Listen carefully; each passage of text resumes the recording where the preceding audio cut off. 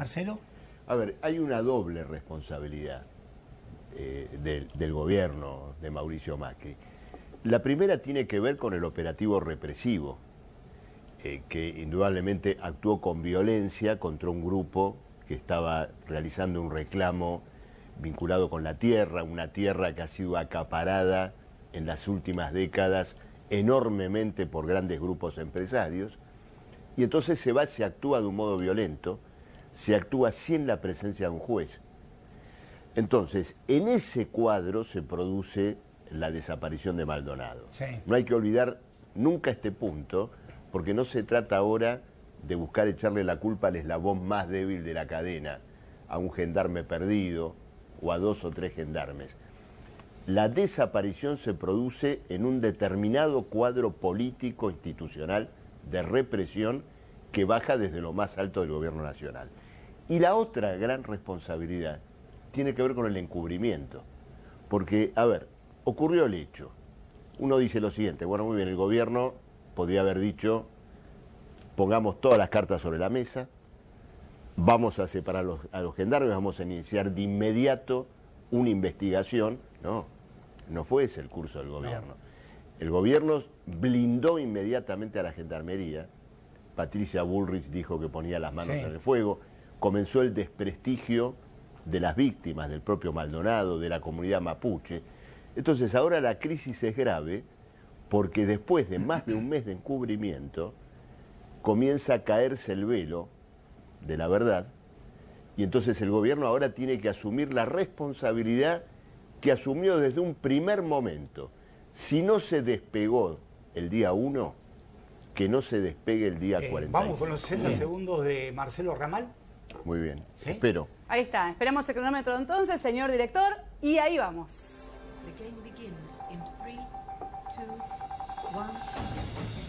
Ahora.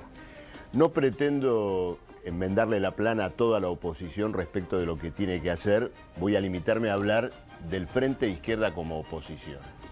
Nosotros buscamos ser una oposición desde el lugar de los trabajadores, es decir, colocar cuáles son las cuestiones que hoy al mundo del trabajo, por parte de la política que lleva adelante el gobierno de Macri, implican un golpe muy severo.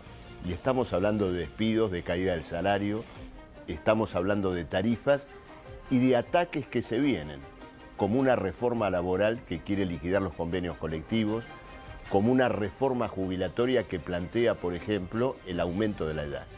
El Frente Izquierda quiere llevar adelante una oposición real a esta política, pero además postularse como salida, porque este país tiene otra de la mano de los trabajadores.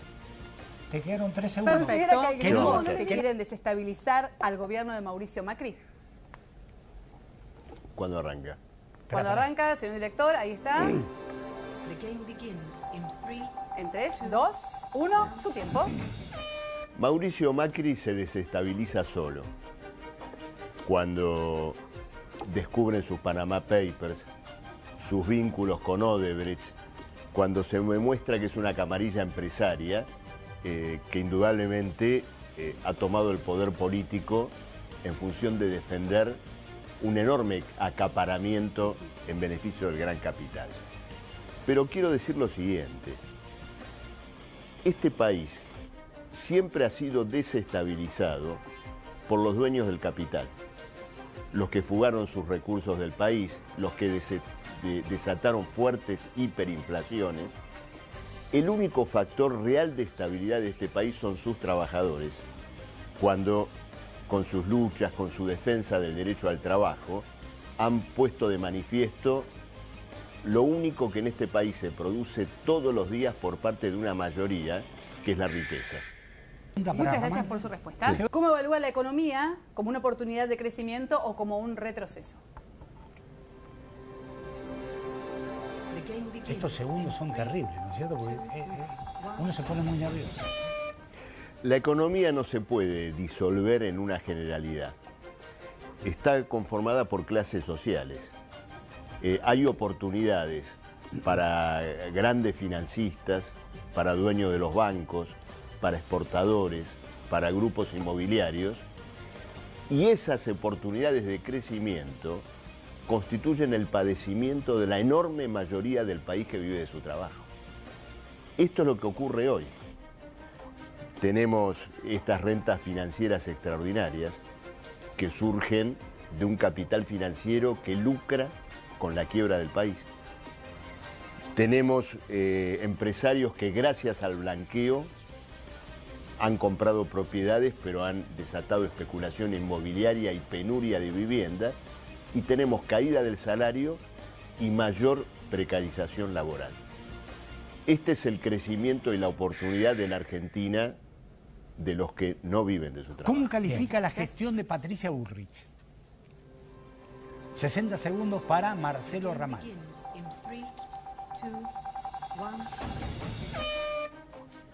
Patricia Bullrich es una persona eh, con vínculos muy importantes con eh, aparatos políticos y de espionaje internacionales eh, que nada tienen de beneficiosos no solo para la mayoría nacional, sino en general para los pueblos del mundo que viven alguna forma de opresión. Quiero señalar en particular que mm, en relación al caso Maldonado, ella ha sido la protagonista de la represión por un lado y del encubrimiento por el otro. Y forma parte del gobierno que quiso aplicarle el 2 por 1 a los militares del proceso, que quiso encerrar a los periodistas en un corralito, en un supuesto eh, eh, dispositivo de protección, y que bueno, si hoy está eh, en el lugar donde está, es por el Departamento de Estado. Bien. Macri es la expresión de la avanzada disolución política de los partidos tradicionales en la Argentina. Eh, generalmente cuando se piensa en la política del gran capital, uno dice, los empresarios tienen a sus políticos como en las empresas tienen a sus gerentes. Bueno, en este caso, y pensando en el país como un todo, se acabaron los gerentes y el patrón se tuvo que hacer cargo de la cosa directamente. Bueno, ¿y qué tipo de experiencia política está protagonizando, mirada en una perspectiva eh, más, más histórica? Eh, durante los últimos 10 años y después de la gran quiebra económica y política del 2001, vivimos una experiencia de rescate de aquellos intereses económicos que habían quebrado en aquel momento, ¿no es cierto?, después del 2001, del default y de todo lo que ocurrió. Y esa reconstrucción de esos intereses, que fue, por ejemplo, reconstrucción de la deuda externa, se hizo a costa de, bueno, eh, echar mano de distintos tipos de recursos.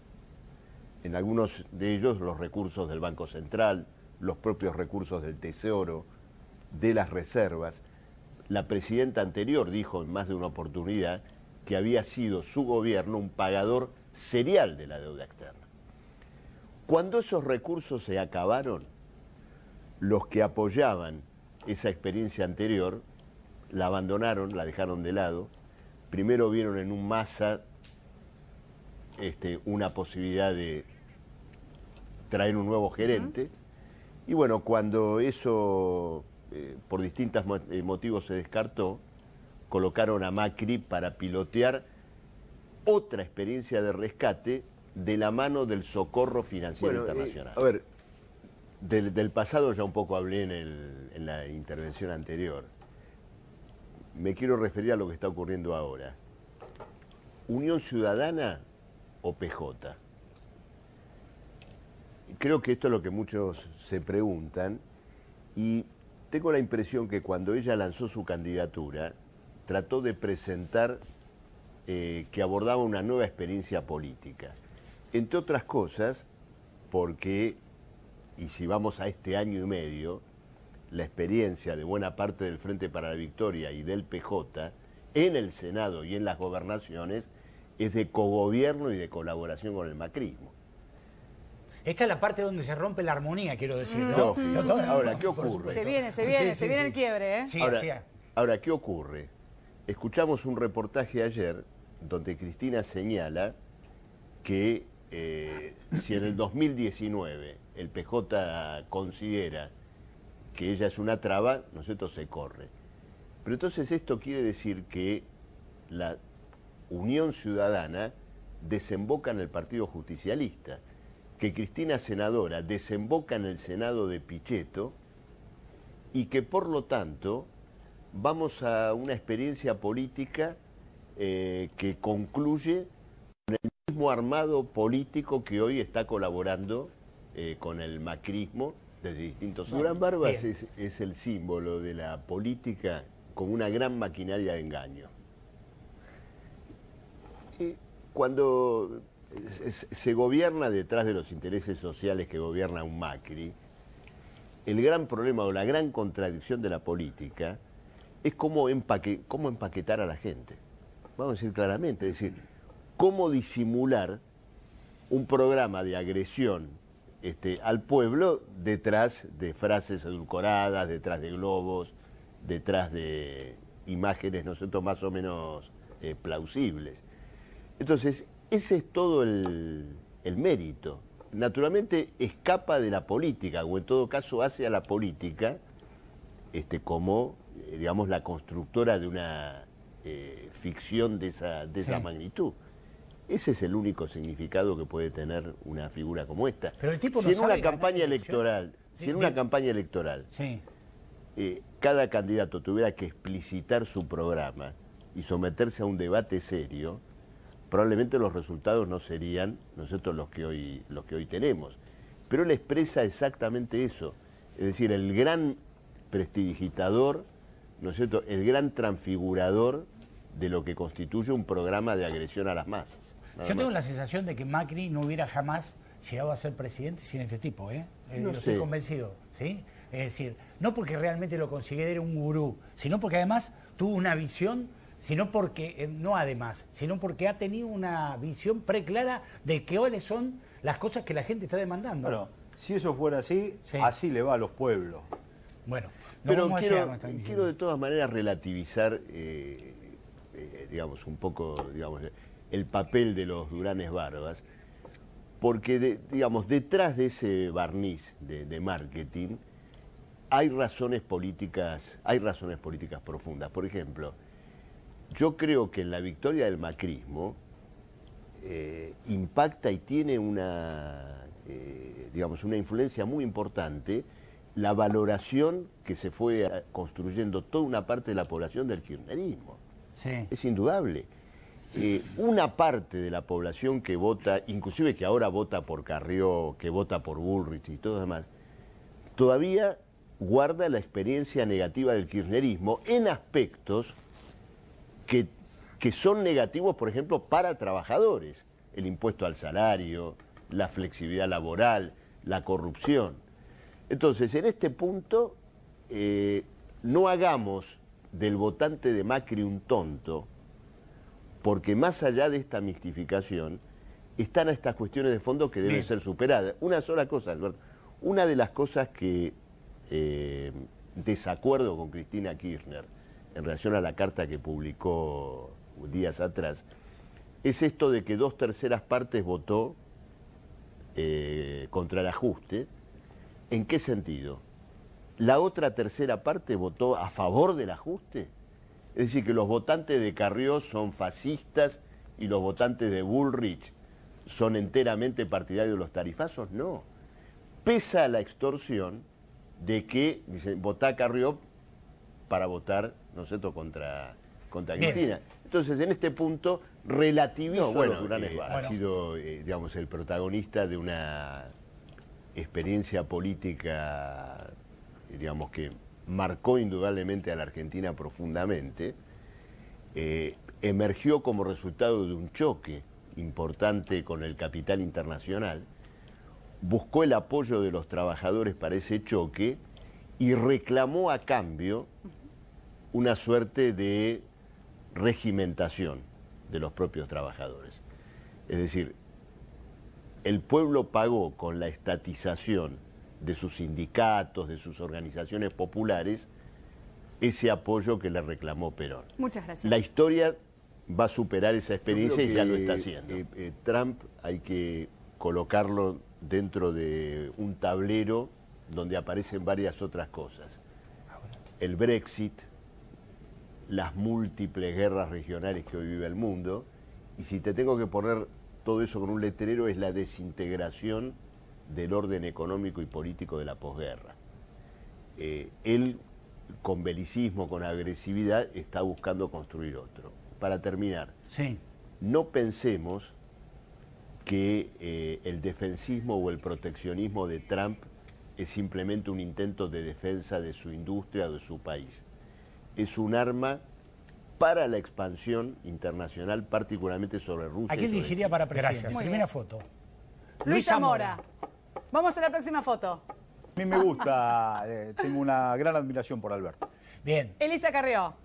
Vamos a la próxima foto. Daniel, es un amigo y también tengo una gran admiración. Marcelo Ramón no dice nada, no elegiría a nadie, ¿sí? Vamos, bueno, y el último es Sergio Massa. ¿A quién entonces de estos candidatos elegirían para presidente de 2019? No, de todos los que eh, mostró, digamos, en el caso de Luis Zamora, si dejara de ser una construcción puramente personal y quisiera realmente construir a que la izquierda se levante como alternativa y como fuerza política que es lo que estamos haciendo desde el Frente de Izquierda. ¿denuncias o te haces cargo? Bueno, denuncio la pasividad que la gran mayoría... Una, ¿eh? O denunciar o hacerse cargo, ¿eh? Denuncia. Ya está, ya está. Sí. Ya denuncié. Bueno. No, no, denuncio la pasividad de la mayoría de la oposición que en este tiempo cogobernó con el macrismo. En el Senado, en la Cámara de Diputados, en gobiernos provinciales que colaboraron con el ajuste. Y a partir de esto me parece importante una reflexión eh, para el votante, para el elector de ahora en octubre. Hay que pensar qué clase de oposición queremos al macrismo y quién está dispuesto realmente a llevarla adelante como oposición real y a defender un programa en defensa del derecho al trabajo y de todas las reivindicaciones que están amenazadas. El votante tiene que pensar en eso y ver en ese punto el mérito de que la Cámara de Diputados, las legislaturas, sea reforzada con diputados de izquierda.